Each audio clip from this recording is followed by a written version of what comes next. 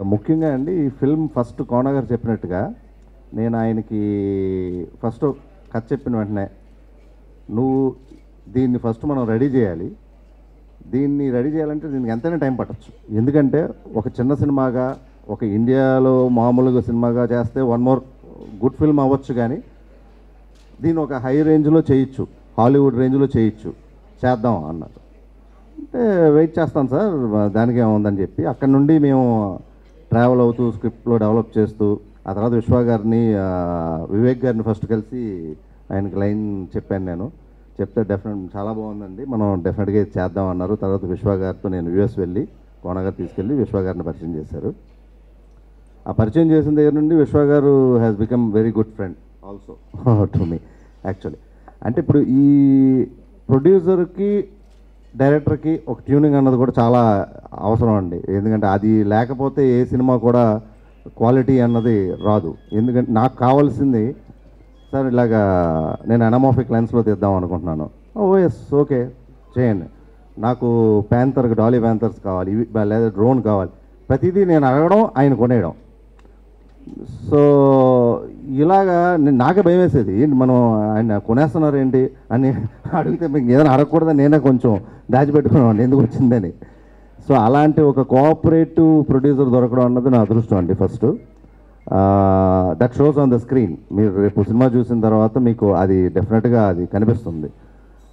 Equation అంటే ఒక రైటర్గా కానీ కోనా గారు అండ్ ఆల్సో కో ప్రొడ్యూసర్గా కానీ ఆయన ప్రొడ్యూసర్ కానీ ఈయన విశ్వ గారి ప్రొడ్యూసింగ్ కానీ ఇవన్నీ కూడా మీకు స్క్రీన్ పైన that shows tomorrow.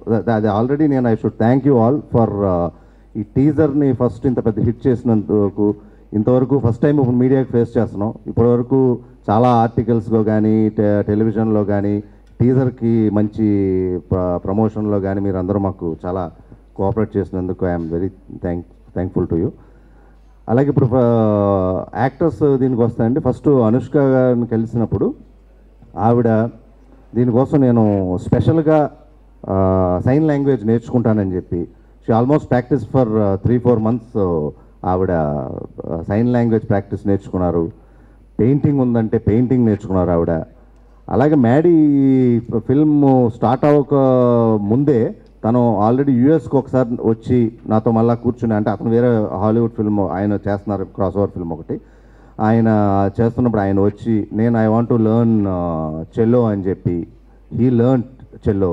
So that shows the dedication. అంటే వాళ్ళకి ఎంత స్క్రిప్ట్లో స్క్రిప్ట్ నచ్చుండి స్క్రిప్ట్లో ఎంత ఇన్వాల్వ్ అయి ఉంటే ప్రతి ఒక్కరు ఇలా చే చేయాలని అన్న అప్పుడే ఇంట్రెస్ట్ వస్తుందండి అది. అలాగే అంజలి కూడా ఇదివరకు ఇంతవరకు అమ్మాయి తను చేసిన క్యారెక్టర్స్ అన్నీ కూడా ఒక హోమ్లీ క్యారెక్టర్స్ ఎక్కువగా చేశారు ఇక్కడ.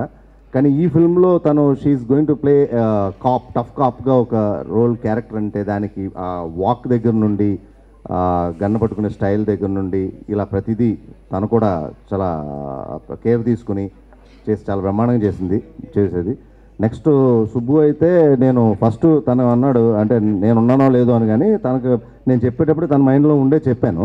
కానీ అప్పటికి బ- బయటికి చెప్పలేదు. ఎందుకంటే నేను చాలామందితో మళ్ళీ కోన గారిని విశ్వ గారిని అందరిని ఒకసారి కన్సల్ట్ చేసుకుని మా టీం అంతా సరే చెప్దాం అని చెప్పి తర్వాత ఓకే అయిన తర్వాత ఫైనల్గా తనకి అబ్బాయి నువ్వే చేస్తున్నావు అన్న తను he is a very old friend of mind so తను నాకు యాక్చువల్గా తన పక్కన ఉండడం వల్ల ఏంటంటే ఒక ఫ్రెండ్ పక్కన ఉంటూ ఉంటూ మనం చేసుకోవడంలో ఒక హ్యాపీనెస్ వేరు.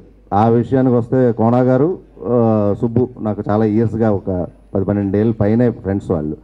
ఆ ఫ్రెండ్స్తో చేయడం అనేది చాలా ఒక వెరీ హ్యాపీ దీంట్లో వెళ్ళిపోతుందండి. అలా చేసాం. సో ఇది థర్టీ ఫస్ట్ జాన్వరిలో రిలీజ్ చేస్తున్నాం. టెక్నికల్గా డెఫినెట్గా ఇది ఒక new film may maybe it can create one of the trends trend setting film అవుతుందని నేను గట్టిగా నమ్ముతున్నానండి. సో లైక్ ద టీజర్ ఎలా మిమ్మల్ని అందరినీ ఇంప్రెస్ చేసిందో సినిమా కూడా అదే విధంగా ఇంప్రెస్ చేస్తుందని uh, నేను ఆశిస్తున్నాను. Thank you so much